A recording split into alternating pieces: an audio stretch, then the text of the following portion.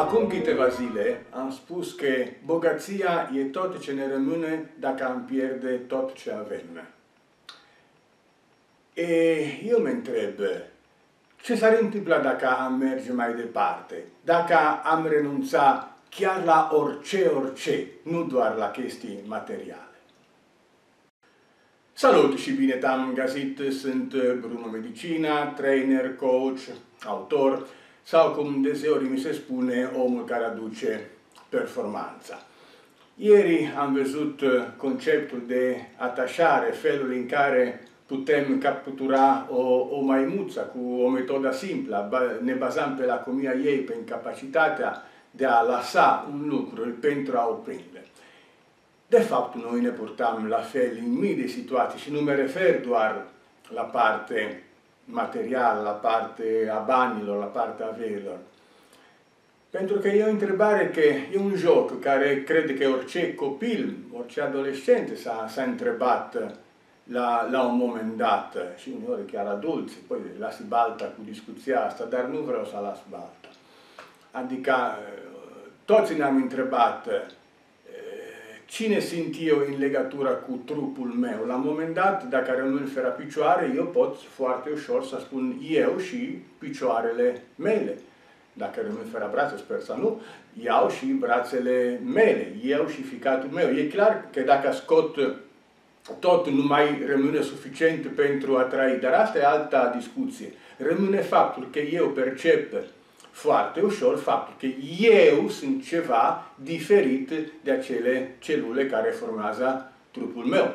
Să nu uităm faptul banal că celulele se renoiesc în, to în total la fiecare 3-4 ani, nu, nu toate cu aceeași nivel. În fine, după 4 ani nu mai este nimic de fostul trupul tău. Dar tu ai această percepție de unitate. Și cu trupul e relativ de ușor. De asta s-a inventat conceptul de, de inimă, de suflet.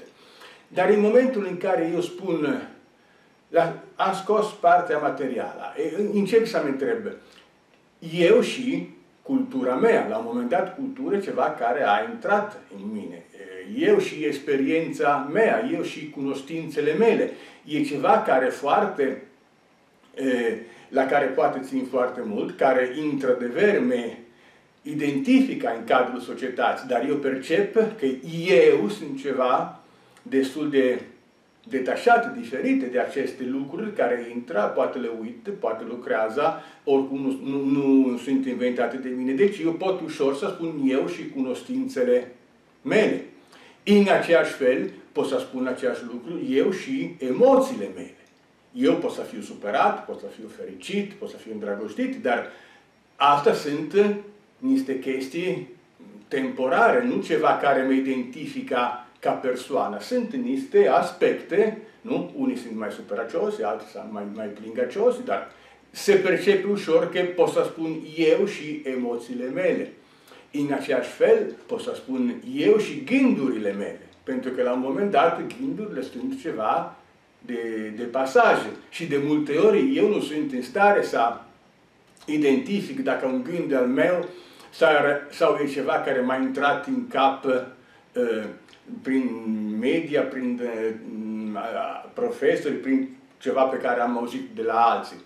În aceeași fel, asta e o discuție aparte interesantă, se zice că niciun gând trăiește pe gratis în mintea ta. Și de fapt există o întreagă știință, se numește memetica, nu mimetica, memetica, care studiază tocmai felul în care gândurile iau viața proprie. Dar vorbim altă dată.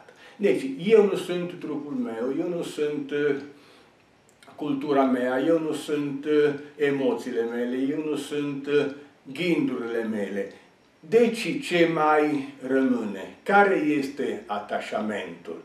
Care este lucru care există dincolo din toate aceste aspecte? Pentru că eu, din, în ciuda toate aceste aspecte, percep o senzație de unitate, dincolo de toate chestiile acestea.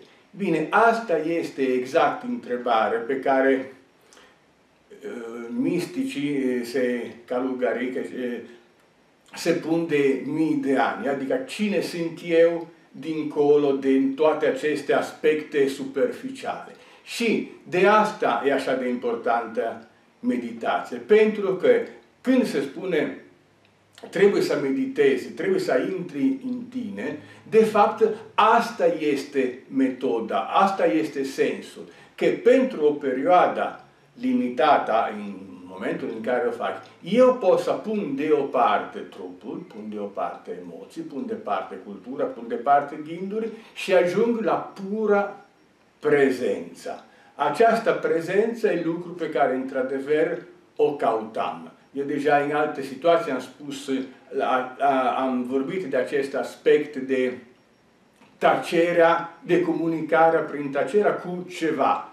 Poi, poți să numești Dumnezeu, poți să numești uh, sinele tău superior, poți să numești conștiință, nu contează. E un ceva care percepi că ești tu și este dincolo din toate aceste aspecte tranzitorii. Eu cred, dacă e ceva pe care cred cu fermitate, că obiectivul adevărat al vieții noastre este să intrăm în contact pe cât se poate cu aceste aspecte dincolo din tot ce este temporar. Spor la treabă dacă reușiți, dacă reușiți. Ne vedem mâine cu alte idei. O zi bună în continuare.